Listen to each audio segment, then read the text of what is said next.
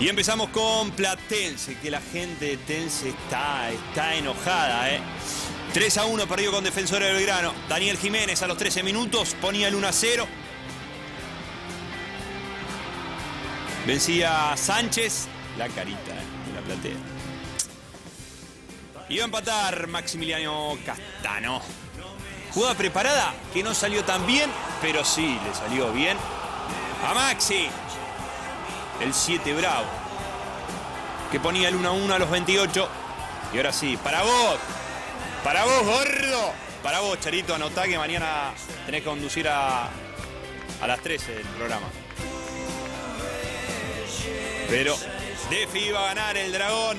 Andrés Montenegro. Empieza a dar sus frutos, uno de los nuevos.